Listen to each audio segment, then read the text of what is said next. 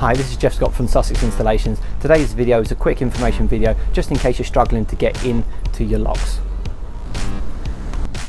Okay, so this video is in a situation where you can't actually get your key physically in the lock. The, the, key only goes as far as here and you can't push it all the way forward. If you can push the key into the lock, then you should look at the lubrication video instruction, uh, which is on this playlist. So if you can't get the key into the lock, it's possible that your key is worn. It's possible that the key is bent or worn. And if you look at the key head, you want to check the condition. You want to check that this key is straight and you also want to check that the head is straight and can go in the lock without any problem. Um, the first thing to do really is to get your spare key and try your spare key in the lock. Regardless that if this key fits any is working in the rest of the locks in your van, if you try your spare key, that's the first thing to do. Spare key, lubricate the locks as shown in the other video. Other than that, it might be a case that um, we can either clean up this this key if you don't have access to the spare key or perhaps one of the pins could be jammed with a bit of dirt so what I might do is take a small object such as a, a, a lock pick and I might just push it in over the top of each one of the pins and then just push them down manually. And if I put that in and I go through all the way there's six pins in here.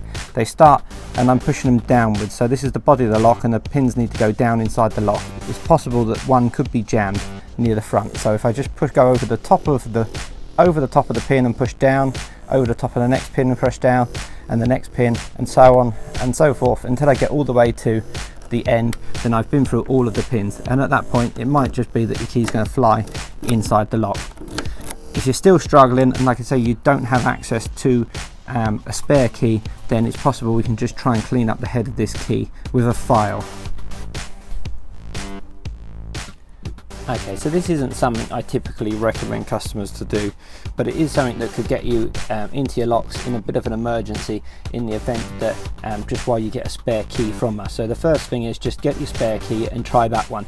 If you really don't have access to a spare key and you can see that the head of this key is a little bit worn, then you can sometimes just take a fine um, file, something that's not too coarse, and you're just going to rub it very lightly over the two sides. So if you follow the pattern, you can see the direction that this key is um, sort of filed in the first place, which is just in that direction there, and that side, and the same on this side.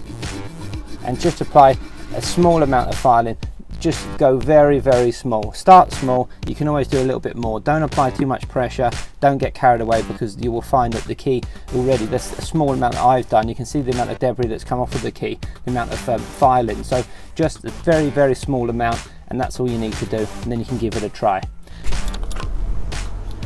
hope you found this video useful and that your locks are now functioning just fine. Um, if not, get in touch via the website. It's www.sussexinstallations.co.uk. Thanks for watching.